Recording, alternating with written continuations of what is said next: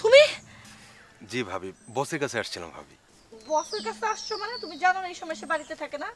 হ্যাঁ তা থাকে না। তাইলে আইসো কেন? মতলব কি? না ভাবি কোনো মতলব নাই ভাবি। মতলব নাই বস নাই তাইলে কি আমার কাছে আসছো? জি ভাবি আপনাকে দেখতে আসছিলাম। আমি তো মস্করা করলাম। বৌমা! জি আব্বা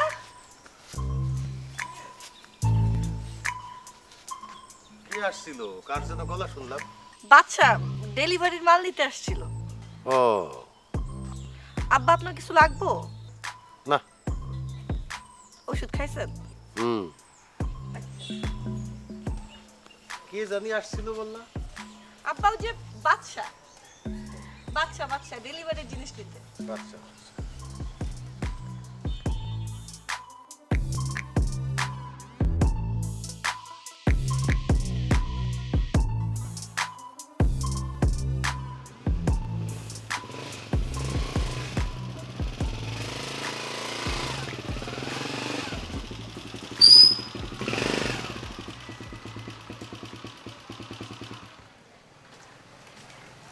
বডিটা লয়ার পারলাম।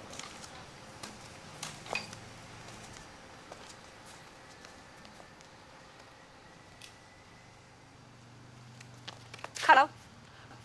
তোমার না কইছি দিন থাকতে ঘরে ফিরতে মধ্যরাতে কই থেকে ফিরছো?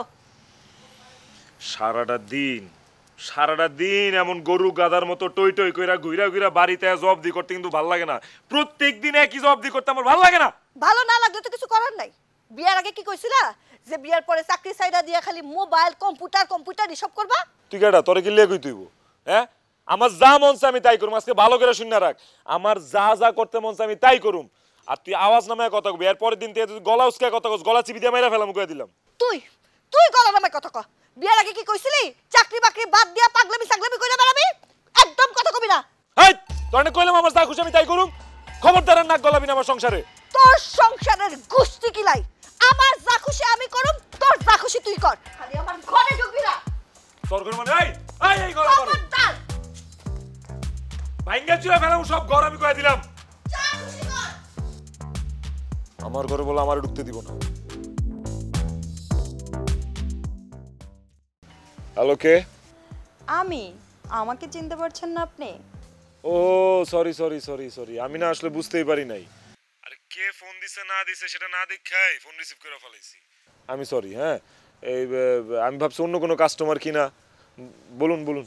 কোনো কাস্টমারের সাথে এমন ব্যবহার করলে চলবে না গোলাম মিয়া? এইটা আপনি ঠিক বলছেন। তো বলেন আপনারা এখন কীভাবে কি করতে পারি? আমারে কীভাবে কি করবেন মানে? না মানে আমি আপনার কীভাবে সাহায্য করতে পারি ওটা কোন? তাই বলেন। শুনুন আমার জামার সাইজটা ঠিক নেই আরেক সাইজ বড় লাগবে। নো প্রবলেম কোনো সমস্যা নাই। কালকে সঠিক সাইজের জামা আপনার দরজার সামনে হাজির হয়ে যাবে যান। অনেক ধন্যবাদ আপনাকে। তো আপনারে এই নতুন জামা পরা অবস্থায় কবে দেখতেছি? কেন? আমারে এত দেখতে চাওয়ার কারণটা কি? আপনারা দেখলে কেন জানি মনে হয়। আগে কেন হইল না? কেন হইল না আগে? কি হলো না? মানে আপনার লগে আগে কেন দেখা হইল না? দেখা হলে কি হইতো? অনেক কিছুই হইতো। সব কিছু কি আর বইলা দেওয়া হয়